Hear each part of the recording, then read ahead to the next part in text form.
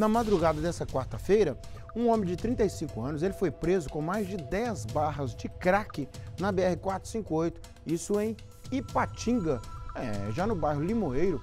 Um homem foi preso com vários materiais ilícitos. E eu vi tanta coisa naquela mesa ali, vi dinheiro, é, arma de fogo, arma branca, é, coisas parecidas com droga e por aí vai, balanço de precisão, celular. Quem vai contar sobre tudo isso é o Lucas Alves de volta aqui comigo. É isso mesmo, Nico. A polícia desarticulou os tráficos de drogas na cidade, grande parte dele, na verdade, né? Nesses dois casos. Nós vamos agora primeiro começar com o tráfico em Ipatinga, né? Um homem foi descoberto aí pela polícia, ele veio de Belo Oriente, segundo a, a, os militares, e foi preso no começo da madrugada de hoje, Nico. No imóvel que ele havia alugado no bairro Iguaçu, foi apreendido um carregamento de crack.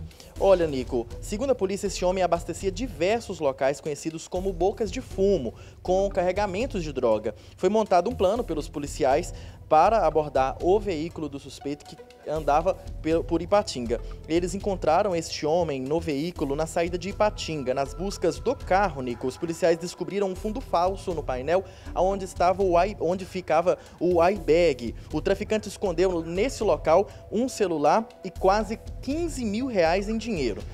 Este homem de 35 anos, Nico, tentou enganar os policiais dizendo que ele morava em Belo Oriente. Entretanto, no veículo havia um documento que mostrava que ele estava morando, tinha alugado uma casa no bairro Iguaçu, em Ipatinga. Os policiais foram até esse local alugado e encontraram lá no apartamento barras de crack, pote de cocaína, duas balanças eletrônicas, 24 cartuchos intactos de calibre 38, caderno com anotações de movimentação de tráfico, dois telefones celulares é, e vários outros objetos, como a gente pode ver aí nas imagens.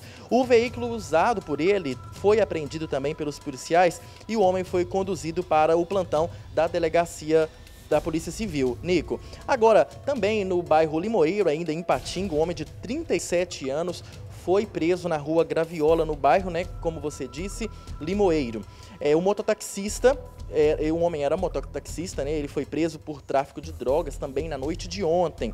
A polícia conta que, além do tráfico, o homem também deixava a mãe sozinha na residência, que é uma senhora idosa de 64 anos e, segundo os policiais, ela sofre de transtornos é, mentais e ainda possui algumas comorbidades, Nico. Os policiais foram até a casa do suspeito, viram lá a mãe dele sozinha na casa, ele estava trancada. Após a diligência, os policiais é, descobriram que na, na, na rua morava a filha desta mulher, que tinha também uma cópia da chave da casa e ela autorizou a entrada do dos militares na residência. O suspeito chegou ao local, os policiais fizeram busca nele e em, que, encontraram né, com ele é, 11 pedras de crack na carteira e o valor de 257 reais em dinheiro. Ele assumiu aos policiais que deixava a mãe sozinha quando ele ia fazer corrida de mototáxi. Na casa, os policiais sentiram também, Nico, um forte odor de drogas. No guarda-roupas do homem foi encontrada uma sacola contendo 81 pedras de crack prontas para venda.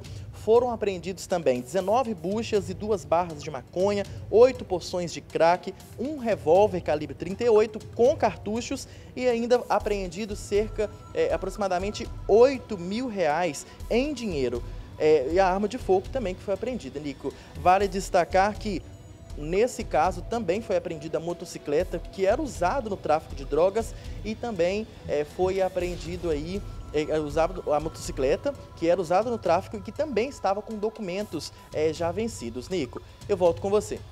Obrigado, Lucas, por sua informação, falando aí dessas ocorrências né, complexas, mas foi dado o recado aí.